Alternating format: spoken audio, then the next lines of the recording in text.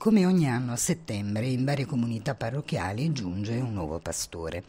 Tra queste, la parrocchia di San Giuseppe Lavoratore in via Bottiglieri a Salerno in questi giorni saluta Don Gerardo Bacco, che ha chiesto all'arcivescovo Bellandi di svolgere nel 2025, anno giubilare, il ministero di confessore a Lourdes e accoglie Donnello Senatore che fino ad agosto ha guidato la comunità della parrocchia di Sant'Eustachio, sempre a Salerno. Le due comunità si sono ritrovate domenica 1 settembre presso la chiesa di San Giuseppe per partecipare alla celebrazione eucaristica d'ingresso di Donnello nella sua nuova parrocchia.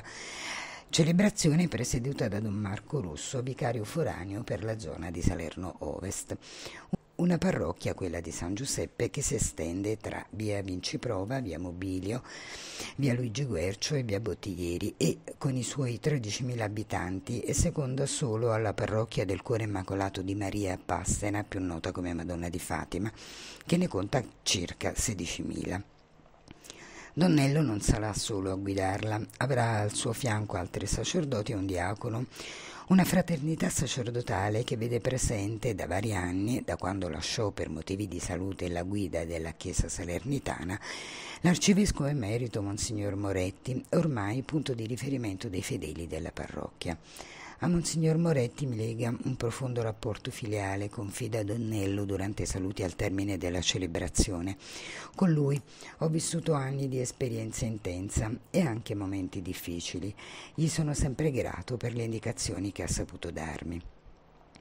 Nel concludere i saluti, Donnello, citando la lettera che ha voluto indirizzare alla nuova comunità, ha indicato il criterio fondamentale che secondo lui deve guidarla.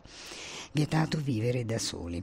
La comunità, il vivere insieme, il condividere hanno un ruolo fondamentale, così come ci hanno insegnato le prime comunità cristiane. Servirà l'impegno di tutti, sacerdoti, diaconi e laici.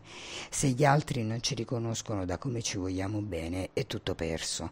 L'unica testimonianza in questo tempo è l'amore, una, una vita dedicata l'uno all'altro.